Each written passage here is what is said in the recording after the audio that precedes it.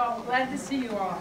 It's my great pleasure today to introduce Dr. Robert Thomas, and he's a familiar face to most of you. Has been a member of People's Church, I found out this morning, since 1969. And he and his wife Dottie, uh, they live in Okemos now, they? have raised two sons, and they are great travelers, and they are from Pennsylvania. His degrees are from Penn State. Uh, he's got a bachelor's in social science, uh, master's in geography and geology, and his PhD in geography. So he retired from Michigan State in 1992, but he still maintains an office there and goes every day to work, and that's his joy. His son Scott is back. His son Scott is back there, and he's pointing some kind of a hello camera at me. so nice to have you join us today. So help me in welcoming Dr. Rob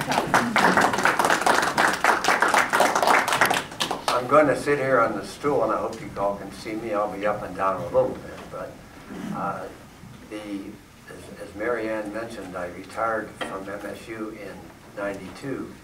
But from 92 to about 2000, I did the cruise ship lectures, where we hit most of the islands in the Caribbean and quite a few of the ports in South America. Also, during that time, I took students overseas for international studies at, at, at MSU. Uh, we were in Querétaro, Mexico, Merida, Dominican Republic, and then three years, believe it or not, in Cuba during the administration of McPherson, who wasn't exactly a leftist, as you all know. Uh, but he, we, we, uh, we convinced him, and in fact, his idea of going to Cuba was it might be nice for the Cuban people to see our kids and what our school or what our university, how it runs, versus the controls that Fidel has over them. Okay? First of all, the prologue talks about these trips that I made to Latin America and the Caribbean from the early 1960s up until the present time. And the, uh, also the prologue mentions that these are all my narratives. They're not taken from books or articles. They're taken from personal experiences by Dorothy and the kids and myself usually by myself, but Dorothy and the, and the kids made three trips from Indiana, Pennsylvania, and then MSU by land, by car, into Guatemala, and later on into Honduras. Let's define a few terms. If Dorothy put up the map of South America, or of the Western Hemisphere, there always are problems between North America, South America, Anglo-America, and Latin America. So many times you'll hear the commentators, well-known commentators on many of the many of the uh, major networks, they talk about Nicaragua and Costa Rica and Guatemala as being in South America, and they're not. The division between North and South America is the isthmus or where Panama meets Colombia. East, southern Panama and northwestern Colombia. That, that is the division between north and south. And then Latin America, of course, is everything from the Mexican border all the way to the Tierra del Fuego, land of fire, the southern tip of South America. Okay?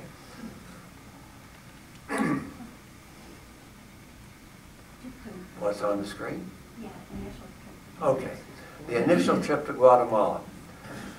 When I was at Penn State in residency, there was a Frank Kohler there, who was a very good friend, who took a job at Northern Colorado University.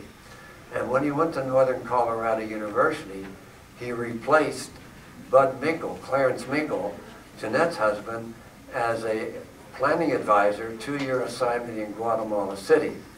Well, when I, uh, Frank and I were on Christmas card correspondence, and when I wrote to him in December of, 90, of 83, December of 63, I said, Frank, I know what I'm going to do. I'm going to do population, population geography, demography, internal migration. I'm going to do it somewhere in Latin America, but I hadn't picked out a, a point or a spot at that time.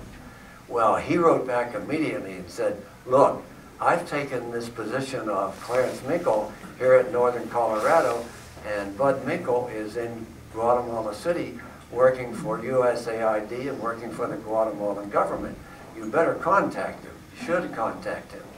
I wrote to Bud, I got back a, believe it or not, five-page, single-spaced, handwritten letter telling me why I should come to Guatemala. After correspondence of uh, two or three months, Dorothy and I and the two boys and a beat-up old Rambler station wagon with lots of room in the back for the kids. Didn't have to have seatbelts at that time, of course. And a 13-foot Scotty travel trailer. And in May of 1963, May of 1963, or 64, excuse me, we headed south. I must say something about when we got to the border of Mexico. Um, I have to give a plug to a company there, Sanborn's Mexican Auto Insurance. You must have Mexican auto insurance when you go into Mexico. In most cases, your U.S. your U.S. insurance does not cover you. Sanborn's provides you with a beautiful trip ticket, much like you get from the three A, receive from the three A's here. And the trip ticket tells you, first of all, the uh, oil companies in Mexico are controlled by Pemex. You don't have a Gulf and a Texaco and Citgo sitting on a street corner on opposite corners. And sometimes those gas stations are far between. So they told you where all the different gas stations were, and they also told you gas stations that you should avoid, where some of their customers have been ripped off. They would also mention side trips you might want to take as you went south. We arrived in Mexico City with few problems, getting over the border, few problems. And we're ready to leave, and on the way out of town, Dorothy said, I would like to go by the Zocalo. And I said, Dorothy, we're not going to go near the Zocalo. Famous last words. Here we had this travel trailer, this Rambler, a city of 8 million people at that time, and Dorothy is manning the trip ticket, manning the, uh, the, the map. And first thing I look up, and where are we? There's the National Palace, there's the major Catholic church, was just sinking slowly. Believe it or not, you step down into it because Mexico City is, uh, is uh, slowly sinking. Well, she got me to the Zocalo, but we became lost. I mean, completely lost. Until finally, we're, what we're trying to find is a four-lane highway from Mexico City to Puebla. Four-lane highway. And we're working our way out of town and we're lost. We pull off the side of the road and this Mexico City police car pulled up beside us. Handsome looking fellow gets out, spoke perfect English and said, may I help you? Certainly did. And believe it or not, he says, follow me. And he gave us a police escort outside through all this maze of traffic, put us on the highway, and headed us off to Puebla. Now, once we got to Puebla, we had to make a decision. We could go one of two ways. We could go off to the east coast to Veracruz and skirt along the Caribbean coast, which would be a lowland route. But I took a look at where we were at Puebla and where Oaxaca was, which was about halfway south on the peninsula, drew a straight line, and usually a straight line between, you know, origin and destination is the easiest way to go, the most quick, the quickest way to go. Well, as a geographer, I should have known better. I didn't look at, I, and I taught the stuff, that's what bothers me. What we were doing, we were going right down the heart of the mountainous area of southern Mexico. Up and down, up and down, round curve, round this curve. What a, what a mess. Uh, but we, we finally, we finally made it to about, oh, 50 miles north of Tehuantepec, which is on the southern border, the Isthmus of Tehuantepec, when, before you get to Guatemala. And we came across this brand new highway. There was only one problem. The old road was impassable. But here was a highway, came up to the bridge, and here was the bridge sitting up here. A gap of about 15 to 20 feet. And no way could you get that trailer and the car up on the bridge. And here's where Dorothy, good thinking. We drove off to a nearby town, picked up two big planks, about 12 inches wide, so thick, about 15 feet long, strapped them to the top of the Rambler. We also had a spare tire up there. We looked like Okies, of course, coming in there. We drove up to the first bridge. Dorothy and the kids, what'd they do? They put the planks from the below here up onto the bridge. I drove onto the bridge. They picked up the planks. I drove off the bridge, and away we went. We did that on four different occasions as we went south. Now, we had no problem getting out of Mexico. No, not a problem. But getting into Guatemala was another story. We pulled up to the, the uh, gate where, which was being manned by uh, aduana people, by people from the customs, of course. And there was a car, one, only one car in front of us. And it was a VW bus had, uh, pulled by a young woman and two teenage daughters. They were going to a wedding in Costa Rica, and they had that thing stuffed. Well, what do inspectors do? They have to inspect. They made them take everything out of that VW bus. They had all these presents wrapped up. To unwrap all the presents, lay them out on the concrete, and then, of course, when they were finished, they had to repack the uh, station wagon. Well, it took them about two hours to get out of there until we pulled up to the gate. Well, we arrived there at 10 o'clock. But what time was it when we got up to the gate? Five minutes to 12. And what happens at five minutes to 12 or 12 o'clock? Siesta time. The gate went down. And for two hours, these guys are off eating or drinking or whatever they were doing. Well, in two hours, 12 o'clock or 2 o'clock in the afternoon, they came back and uh, went through all of our stuff. Here's the absurdity of that in fact. Dorothy had some canned goods, so we wouldn't have to have, uh, buy fresh vegetables on the route. And this one guy took a can of, whole can of corn, took it over to a scale, weighed it, wrote it on his piece of paper, the number, the, the weight of it, and then we put it, put it back in the trailer. Well, again, all the stuff is laid out before us, so we had to pack and get out of there about four o'clock, I would say. Fine, we're now on our way to Guatemala City, free open shot. Except, except, we came to a, the Guatemalans were putting in a brand new highway in the northern, the, between the Mexican border and uh, on the south coast of Guatemala, where we went up into the highlands to Guatemala City. Guatemala City is about 5,000 feet elevation. It's in a highland basin, truly a land of eternal spring. Well, here we were. We came up to this brand new highway, but it was gated, and there were two guards there. And I explained, look, I have to get on this highway. Uh, we're going to Guatemala City. He says, nobody's passing. He said, you have to take the highland route up to Quetzaltenango at 10, 11,000 feet, windy road. I said, this rig will never make it. And this is where I don't like to do something, but occasionally you must do. I reached in my wallet, took out a $5 bill.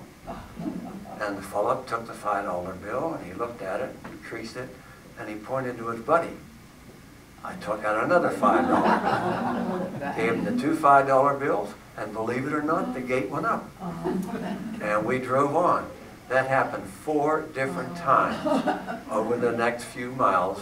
And about $80 for about 20 miles, that's the most expensive toll road I've ever taken. We finally then, we were on our way, we came roaring in, it was getting dark then, we came roaring into uh, Guatemala City and uh, to the home of Bud and Jeanette Minkle. Uh, they gave us a delicious meal, bedded down for the night, and we were ready to go the next day. Now, you have to think of the political situation in Central, well, in fact, in Latin America at that time. Here is Fidel Castro sitting out there in Cuba, being supported as a surrogate for the Soviet Union. The Soviet Union was dumping $8 billion into the Cuban economy every year, so Castro would export his, his uh, uh, undermining the countries of South America, Latin America, with the communist rhetoric he had. Okay, the day after we arrived in Guatemala City, the United States government had given Guatemala 23 brand new four-door black Chevrolets. Why they were black, I have no idea. They, they came into Puerto Barrios on the Caribbean coast, were driven into a secure guarded area in, near the central city. The day after we arrived, insurgents got into that compound, don't ask me how, and torched every one of those three brand-new Chevrolets. Well, what a mess. The next morning, nothing but twisted steel and plastic and you name it. In the meantime, two or three days later, I'm now working with Bud and with a Jose Lopez Toledo in a planning office of the Department of Public Works in Guatemala City. And about six months before, Bud had been instrumental in having a brand new uh, Jeep Wagoneer. Now, I don't know if it's called a Jeep Wagoneer at that time, but a beautiful, you know, one of these carry-all vehicles given to the Office of Geographic Studies. And Bud uh, turned it over to the to those folks there. Well, when those 23 Chevrolets got burned up, they came to me and they said, we have to get this Jeep out of here at night, at least till things quiet down. So Thomas, you take it home and park it in your fenced-in lot in, uh, outside on the outskirts of the city. Okay, fine. Every morning for the next 30 days or so, I would go out in the morning. I would crawl down and look under the vehicle. I would carefully open up the hood to make sure nothing else had been attached. I would come over, carefully open the door, sit in the seat, put my hands over my face, and hit the ignition. Fortunately, nothing happened. But what we had to do every day, I had to take a different route into the, into the, uh, into town. Because if you took the same route, then they would, the, these insurgents would figure out where you were, and they might attack you on the way in. Okay, Welcome to, excuse me? welcome to Central America. Oh, yeah, welcome to Central America. Uh, We had, as I mentioned, the, uh, the problems with the, uh, with the insurgents at that time. I think we go on now to the migration study, okay? The, the problem in, in Latin America is different than the problem here. After World War II, we abandoned our major cities. Latin America has been entirely different. People are flooding in there by the tons. Guatemala City was about 600,000 people at that time, growing at, growing at 15% per year, which meant in 50, excuse me, 5% per year. In 15 years, the population was going to double. And at that time, they couldn't keep enough schools, they couldn't keep enough housing, sewage disposal, forget it. They dumped the sewage in one of the nearby big barrancas, big by canyons. In the, in the rainy season, fine, fine, it got flushed out. In the dry season, when it doesn't rain, it didn't get flushed out. So you could imagine what that was like. When I began this, so the Guatemala government then uh, hired me as an urban planning advisor to look at the migration system of Guatemala City as a geographer location. Where are the people coming from? How are they getting into the city? What's the impact on where they're coming from? What's the impact on the city? As a result, I administered 2,500 questionnaires to a stratified random population throughout this city, 18 zones. And I was assigned one of their better, uh, better workers in the uh, Office of Geographic Studies, Rodolfo Ibera, to be my uh, administrative assistant. And he would, he, he was the one that would go up and knock on the door and identify himself as a, as a member of the, uh, migra- of, of the uh, migration system of the Census Bureau of Guatemala. And then once we got a foot in the door, we administered a seven or eight page questionnaire. Well, we were on the street about, oh, four or five days. Now, Adolfo's father was a rich coffee broker. He bought coffee, sold it to major corporations in the United States. About three or four days in the sample, his father got a message from the insurgents. We know where Rodolfo is every day. If you don't cough up $25,000, Rodolfo is going to disappear. We were assigned an armed guard by his father. And that armed guard followed us every day throughout the city, wherever we were. In fact, the last, uh, after the census was over, after about six weeks, uh, Dorothy had a uh, a banquet for all the people who would help with the, uh, with the census. And Rodolfo appeared at the banquet. He was toting a gun. Dorothy made him take his gun out of his pocket and put it away because he didn't want a gun going off and kids running, or two boys running around there. But Rodolfo also had his guard, who was out in front of the, uh, in front of the house guarding him while, while the party was going on. Now, yes, presidential elections of 1966. While we were first there, the, the government of Guatemala was under a dictator, Colonel Peralta. Colonel Peralta promised that he was going to have free and open elections um, during, uh, after he thought things had settled down. So in April of 1966, the elections were going to be held, free and open. There were three candidates. The Peralta's candidate, though, was called Juan de Dios, one of God. Well, we all knew who was supposed to win the election, one of God, one of God. Well, it came up that one of that the story was that if Juan de Dios did not win, there was going to be a coup. No question. Peralta would throw out whoever was elected and continue his administration. When here I am sitting in my office, we now had the cards from the questionnaires punched on the IBM cards, two boxes of IBM cards, sitting at my desk. I'm sitting at my desk one, one morning worrying about what happens if there's a coup, and talk about anxiety.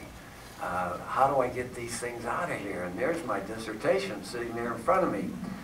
And all of a sudden, I'm sitting there at the desk, and my eyesight went like this to where I only had two pinholes. I was going blind.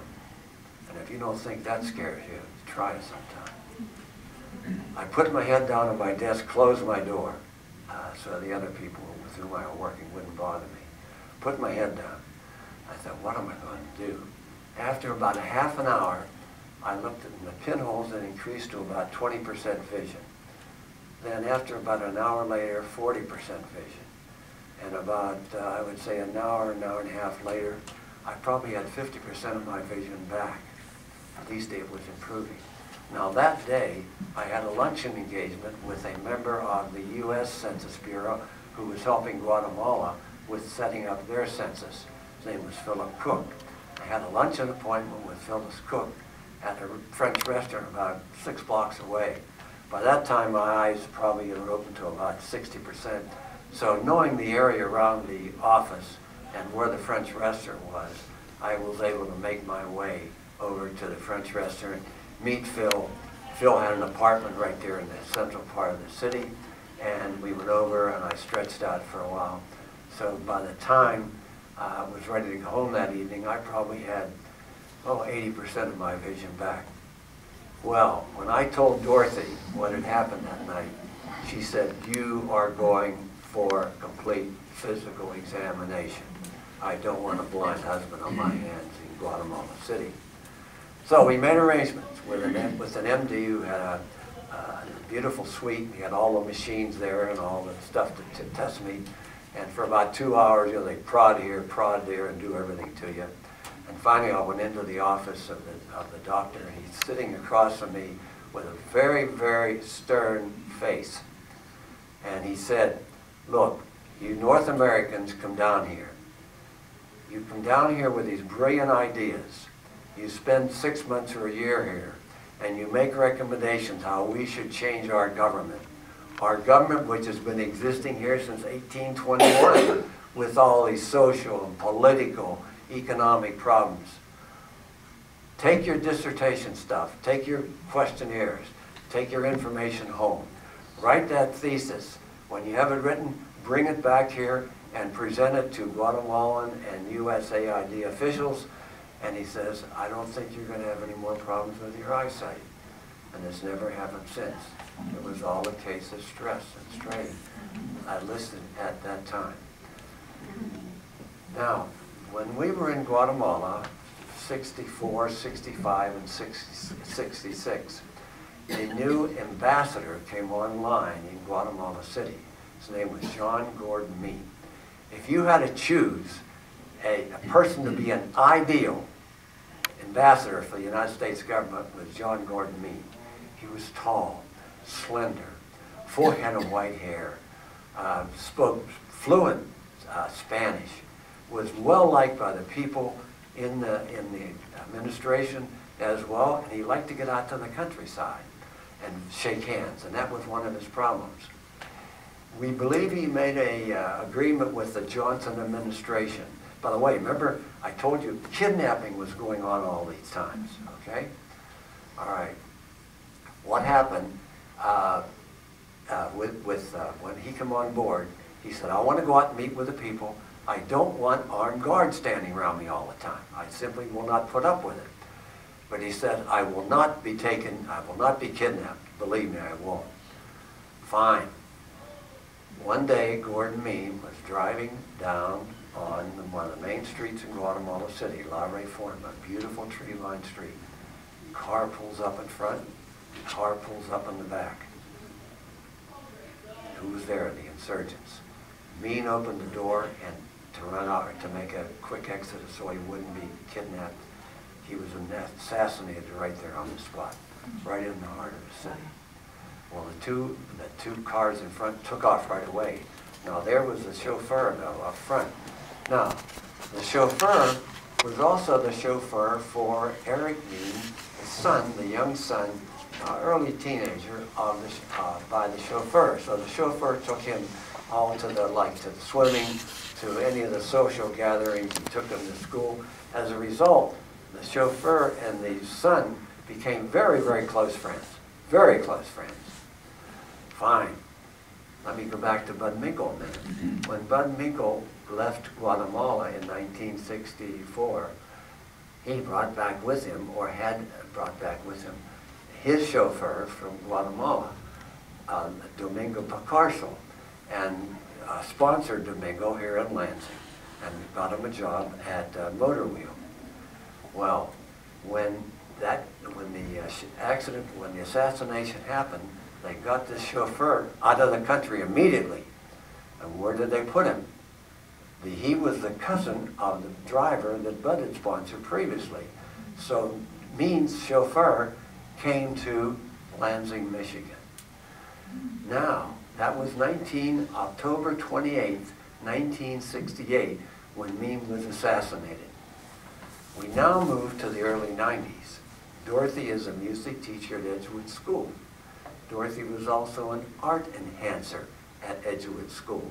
And periodically, she would bring in mothers from the community to show paintings to the kids, go into the classroom, show paintings to the kids, or if they were painters, actually how they painted, or maybe discussing a painter to the kids.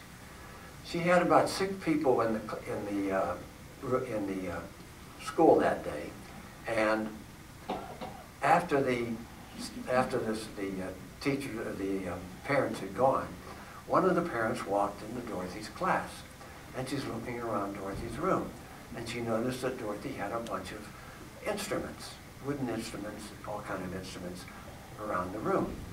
And she was curious about these instruments. And Dorothy said, yes.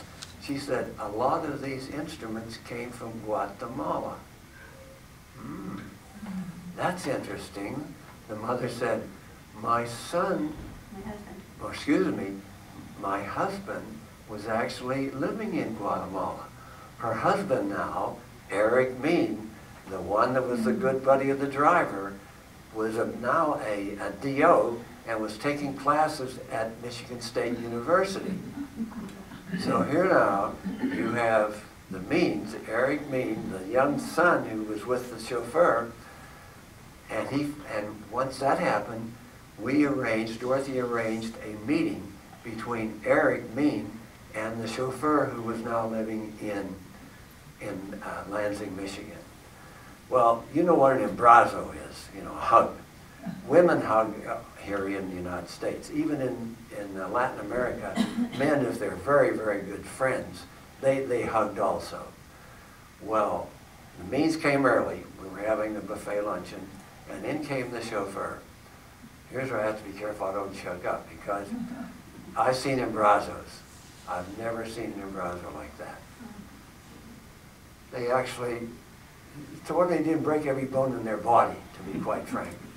Ju- Tears just flowed out of their eyes. In fact, before it was all over, we were crying, everybody was crying and weeping because of this crazy incident. When it was all over, Mrs. Mein, the uh, husband of the assassinated ambassador, said it was a beautiful closure to what otherwise was very tragic, ev- uh, very tragic event in the life of the Mein family. Okay, how's our time? At ten o'clock. It's 10 o'clock, all right. Volcano climbing. Don't ask me why, but geographers like to climb volcanoes. I just, I don't know why, we just do. And when we were in Guatemala City, I, I was there with an Oscar Horst, who was a uh, professor at Western Michigan University. And Oscar Horst had brought with him, we wanted to take some special slides in Guatemala for classroom use or maybe for possible for future uh, research. So he brought along a Terry Bond, who was a was undergraduate student, but he was a professional photographer. And we're in Guatemala City, and we wanted to go, go up to a place called Pacaya. It was a volcano of just over 8,000 feet, about an hour, maybe an hour and 15 minutes outside of Guatemala City. So we drove our car to the base of the mountain and started up the mountain. Now, the first thing we forgot to do was to take a flashlight with us. And this volcano had been erupting for the last 20 years, and there was volcanic ash everywhere. And there was a very narrow path, and it was very difficult to see the path, especially without a flashlight. Mm-hmm. And we also wanted to arrive there some near dark or near, near dusk, because it, that way, if we got a good fiery plume coming out of the volcano, it would show up better on the slide. Okay? Fine, excellent. We worked our way carefully, and there's these big ca- oh, also with this loose ash all over the place, there were big chasms, maybe 50 feet, 20, uh, 50 feet, 100 feet deep, that you had to be careful you didn't fall into. But we worked our way up to the top of the top of the mountain and started taking pictures. Terry took off around the other side of the mountain because he wanted a different perspective. We get up there and Oscar and I are taking slides, boom, boom, boom. And all of a sudden it's getting dark and I say, Oscar, we better get out of here pretty soon. By the way, uh, there was a, was a moonlit night and the clouds were coming into the Pacific Ocean and it started to drizzle. Oscar, after we had realized we better get off the mm-hmm. mountain, he started to go over and look for a path and he fell into one of these chasms, about 20 feet deep, wasn't too bad. But he crawled back up and he was all scratched up from sagebrush, which was there. I tried to get off. I fell down. And after I fell down the second time, I said, Oscar, and by that time it was dark. I said, Oscar, I'm staying on the mountain. I'm not going off here. If one of us falls and breaks a leg or an arm, goes into shock, who knows what could happen.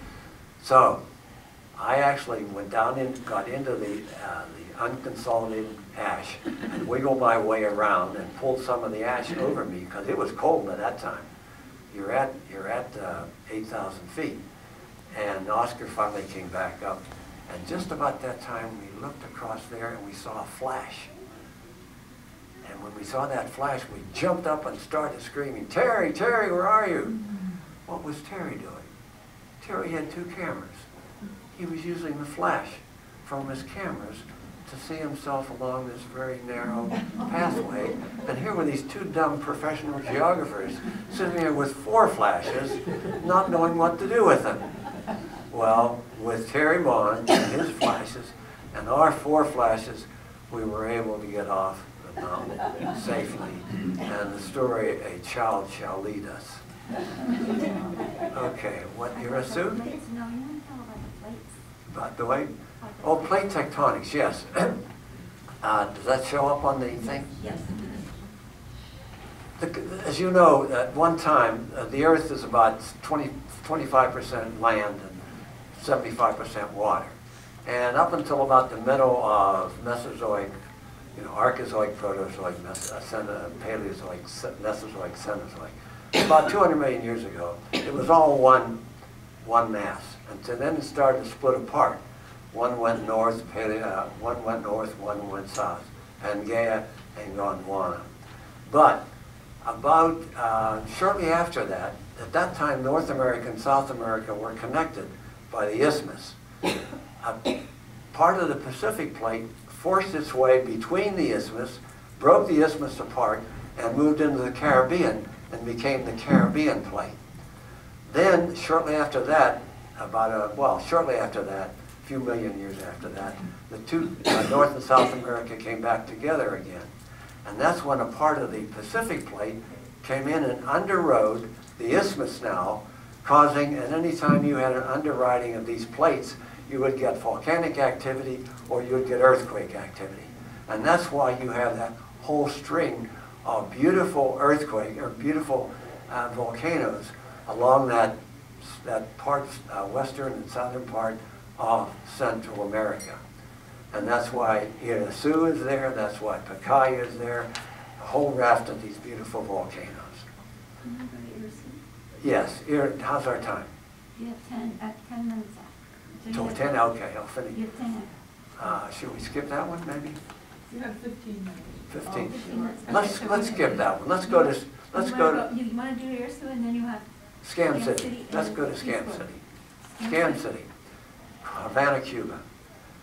Uh, In uh, 20 2002, 2003, 2004, we received permission to take students uh, to Cuba from the state, U.S. Department of State. First of all, we had to clear McPherson. And that's when he said to me, McPherson said, yes, it might be good for our students to see their students and for their students to see our students. So we ended up taking 30 students to Havana, Cuba. we had uh, we had to stay in. We usually would stay in the homes of the uh, people in other countries, but you can't do that in Cuba. Uh, Cuban a Cuban labor makes about fifteen dollars U.S. a month. A professor like myself would make twenty to twenty-five dollars a month. An MD, uh, forty to forty-five dollars a month. No disposable income. So, uh, what did we do? I told the kids, we met downstairs in the hotel room before they took off to visit around the hotel. And I said, be careful, be careful because these people don't have any money. If they get dollars, they can spend the dollars in dollar stores and buy hair dryers, anything they want. But they didn't have any money, so they're looking for money. Right away, I'd say about half an hour after the kids took off, this one kid came back in. Prof, prof, prof, look what I got. I got a, a box of Cohiba, the best cigars in the world, for $40 US. He only knows that they, we took McPherson back two uh, Cohiba cigars, which cost $25 a piece. A box was about $700. So they were scammed, but we didn't say anything. They were happy. Okay, fine. Uh, also, uh, uh, when we also when we were there, the Castro permitted the some of the local houses around in the city to open up their homes to uh, foreigners to get U.S. dollars and serve them Cuban meals. And you'd be walking down the street and somebody would hand you a card and telling you where to go and if you would like a, a perfect Cuban meal made by Cubans in the Cuban homes, fine. The kids would take them up on this. They would go to the home, get inside. Once inside, they found out that these supposedly meals were, the people were only making about $15 a month, were $10 for the meal. And that was a lot of money. And in many cases, the kids decided after that $10 that they weren't going to stay, but they were intimidated by the people there to stay and to kick up their $10. Now, when we were there also, Dorothy noticed that Swan Lake, Swan Lake Ballet was playing at the National Theater. Okay, let's go see Swan Lake Ballet. Beautiful National Theater in, in, uh, in Havana. Ten dollars for ti- tickets. That was a lot of money, but still that wasn't bad for Swan Lake Ballet, performed by professionals. So we go to the, uh, the time the things going, the, the evening that the ballet was on, but there was a line, oh, went back almost a block long. I said, gee, well, we're going to be here forever. Here came this gorgeous, beautiful, young Cuban woman. Said, you don't have to wait in that line. I'll sell you these two tickets for ten dollars each. And you can go right up to the front of the line and go right into the ballet. Okay, Dorothy said, no, no, um, we're not gonna do that. I says, come on, let's do it, and I gave her the twenty dollars, and she took us right up to the front of the line. We went right into the ballet, to the, uh, open- uh, to the theater, and we sat about three weeks, three uh, rows from the back of the theater. The First part went on fine, an intermission. During intermission, I started talking to people around me, and I found out that the last four or five rows of the theater were only five dollar seats. She had really scammed us. She had really cleaned us out. Now, I believe the Peace Corps is next, isn't it? Okay. When, when John F. Kennedy set up the Peace Corps in the early 1960s, one of the first countries to take Peace Corps was Guatemala. And the, there are two-year assignments, and they came into Guatemala in, would be 65, 63, 63, 64, and 65. So when 65 came there, we were there, and the first group of our Peace Corps kids were going home. And they, uh, the U.S. brought in a big, that time Pan Am was a big carrier in, in Central America, the big old 707 four-engine jets. And it was sitting out there to take these kids home. Well, that place was jammed. Everybody from the president, the, the, these Peace Corps kids have been extremely well received by the, by the Guatemalans. And in fact, the president of the, uh, the president of the country was there, all the way down to these Indians and their Indian garb, quite a mixture. And every time I tell this story, I think I got a few more people. But there must have been a thousand people jammed into this small, uh, small airport with the 707 sitting up out front. I noticed when we walked into the airport that Guatemala had an air force of four jet trainers, which we had given them. And I, I, as an old Air Force person in World War II, I noticed that these things were, they were in the air just flying around someplace. I just noticed it casually. Fine. The kids get on the, all the tiers and emblazos and stuff. And the kids get on the 707. 707 lumbers out at the end of the runway. And I mean lumber, those things lumbered all over the place. And it starts down the runway. And it's lumbering. And finally, it got to about where we were standing when gear up and airborne, here came the four jets of the Guatemalan Air Force. One took up a position on one wing, one wing, another took up a position on the other wing. One got out in front, but high enough so it wouldn't, its, uh, you know, its, its jets wouldn't mess up with the 707.